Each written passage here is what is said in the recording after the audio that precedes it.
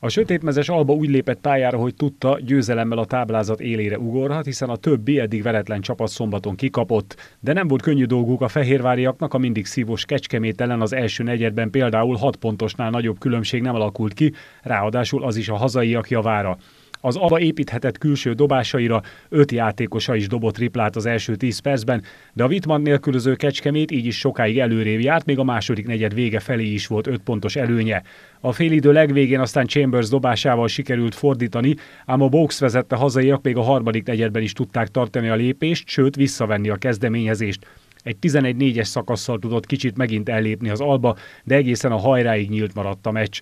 Diki 18 lepattanója is kellett, hogy több esélye legyen Alejandro Zubiaga csapatának, amely 86-86-os állás után már nem engedte ismét vezetni ellenfelét. Nagy küzdelembe húzta be 104-99-re a meccset az Alba, ezzel továbbra is veretlen és első helyen áll a táblázaton.